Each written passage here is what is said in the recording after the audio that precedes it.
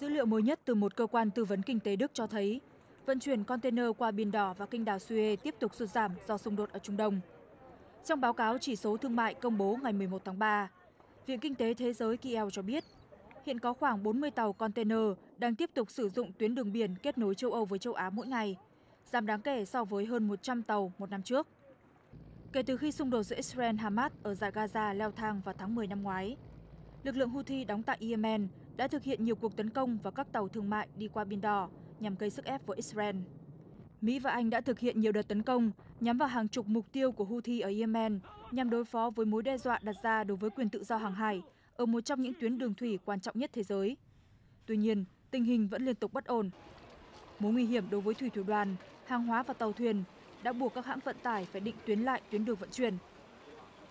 Sau khi giảm xuống mức thấp nhất vào giữa tháng 1, con số tàu thương mại di chuyển trên tuyến Biển Đỏ đã tăng lên khoảng 50, nhưng hiện đã giảm trở lại. Đáng chú ý hôm 6 tháng 3, ít nhất 3 thành viên thủy thủ đoàn đã thiệt mạng và 4 người khác bị thương khi Houthi tấn công tàu hàng True Confidence treo cờ Barbados trên vịnh Aden. Đây là lần đầu tiên các đòn tấn công của Houthi gây thương vong cho thủy thủ, đánh dấu căng thẳng leo thang đáng kể tại tuyến đường hàng hải quan trọng này. Theo công ty phân tích rủi ro hàng hải Windward, số lượng tàu đi qua Biển Đỏ và kênh đào Suez có vẻ như đang giảm sau cuộc tấn công mới nhất. Số lượng tàu chở hàng ngừng di chuyển, neo đậu bên ngoài các cảng ở phía Bắc và phía Nam kênh đào Suez đã tăng 225% sau thời điểm xảy ra vụ tấn công. Windward đồng thời dự đoán lượng tàu qua kênh đào Suez, tuyến hàng hải vận chuyển 10 tới 15% giá trị thương mại thế giới sẽ còn tiếp tục giảm. Theo các chuyên gia, gián đoạn càng kéo dài và càng có nhiều tàu chuyển hướng thì việc giao hàng hóa và nhiên liệu càng bị chậm trễ, có nguy cơ đẩy giá lên cao. Arsenio Domingue, Tổng thư ký của Tổ chức Hàng hải Quốc tế IMO, đã kêu gọi một giải pháp nhiều mặt cho cuộc khủng hoảng vận tải Biển Đỏ đang diễn ra. Quyền tự do hàng hải là điều tố quan trọng.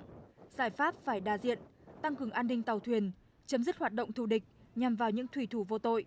và cần các nỗ lực khu vực và quốc tế nhằm đạt được giải pháp hòa bình cho vấn đề này. Ông Domike cho hay. Hiện tại, bên cạnh các cuộc tấn công nhắm vào các mục tiêu của Houthi ở Yemen,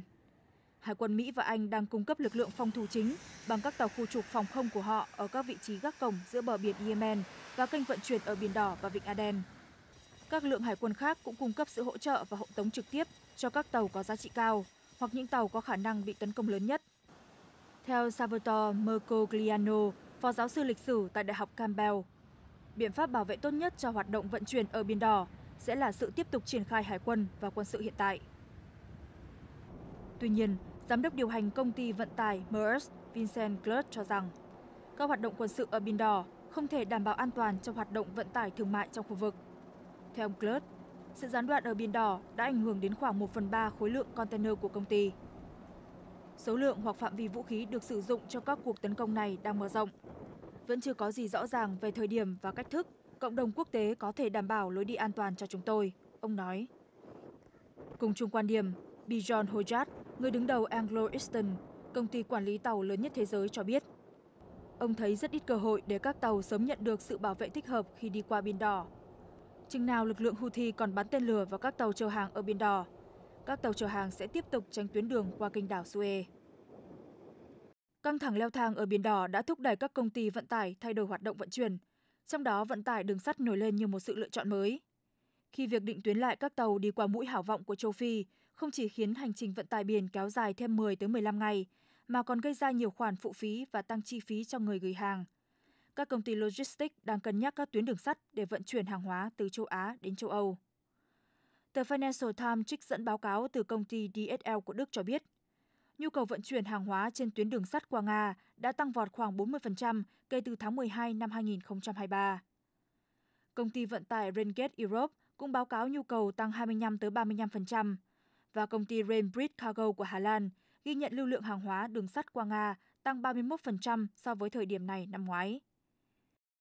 Theo DSL, một phần đáng kể hàng hóa vận chuyển đường sắt từ châu Á đến châu Âu sử dụng hành lang phía Tây qua Kazakhstan vào Nga và Belarus, trong khi một số hàng hóa đi theo hành lang phía Bắc đi thẳng từ Trung Quốc vào Nga ở phía đông Mông Cổ. Vận tải đường sắt đang trở nên hấp dẫn đối với các chủ hàng do tính hiệu quả về mặt chi phí so với vận tải hàng không và thời gian giao hàng nhanh hơn so với vận tải đường biển. Chẳng hạn, vận chuyển đồ nội thất, đồ chơi, quần áo và phụ tùng ô tô từ Trung Quốc qua Nga đến các nước châu Âu mất từ 14 đến 25 ngày, tùy thuộc vào điểm xuất phát và điểm đến,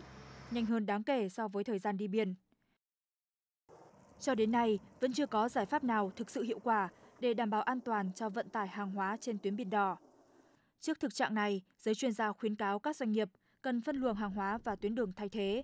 đa dạng nguồn cung ứng hàng hóa, xây dựng kế hoạch phòng ngừa và phản ứng nhanh, tăng cường hợp tác quốc tế, trao đổi thông tin, đánh giá tình hình và ứng phó đối với các tình huống tương tự trong tương lai.